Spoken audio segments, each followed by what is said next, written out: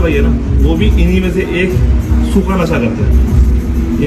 So guys आपको याद ही होगा, मैंने पहले आपको अपडेट दिया था कि आज़ाज खान और यहाँ पर राजीव सुसोदिया का हो चुका था फाइट और एक दूसरे को ये आने वाने की धमकी दे रहे थे कि तू इधर आ जा, तू इधर आ जा। तो इसी बीच यहाँ पर राजीव सिसोदिया के दोस्त रूबल धनखड़ का भी रिप्लाई आ गया है और आज़ाज खान को वार्निंग दी है और आज़ाज खान को बहुत सी बातें बोली हैं जो कि आप सुन सकते हो। तो क्या कहा है ज़रा, रूबल धनखड़ ने? ज़रा देखिए ये क्लिप रात करते करते मतलब मैंने बहुत सारे ऐसे लोग देखे जो नशा करते मतलब अजीब अजीब किस्म के ना। हम पकड़ गजाज भाई, है ना? वो भी इन्हीं में से एक सूखा नशा करते हैं। इनको ये नहीं पता रहता कब, कहाँ, कैसे और किसको क्या बोलना चाहिए।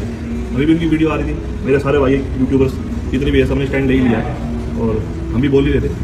तो भैया, ठीक है यार, तुम गए होते हैं कोई बड़ाई की चीज़ नहीं है। अच्छे काम करके नहीं जाते हैं। ठीक है? तो जो ये हूल दे रहे हो ना, बहुत देते हैं ऐसे, बहुत अच्छे देते हैं। ठीक नहीं है इस उम्र में। बिग बॉस में गए थे अच्छा किया था। सामाजिक काम करते हो वो भी अच्छा है। लेकिन ऐसे गाली गलौज करना और धमकी देना कभी साहब बताना कभी बिल में जाना पता नहीं क्या क्या बोल रहे हो। यार पहले डिसाइड तो जैसे कि आपने देख ही लिया साथियों यहाँ पर साफ़ साफ़ बोल रहे हैं कि भाई एजाज खान यहाँ पर नशेड़ी है नशे करते फिरते हैं। उनकी बातों को सीरियस मत लीजिए और यहाँ पर सभी यूट्यूबर सपोर्ट में आइए और ऐसे दल्ले को बाहर निकाल के फेंकिए। तो ये कहने का मतलब था। आपको क्या लगता है साथियों? आप अपनी राय कमेंट में ज़रूर रखना। जल्दी मिलते हैं नेक्स्ट अपडेट के साथ।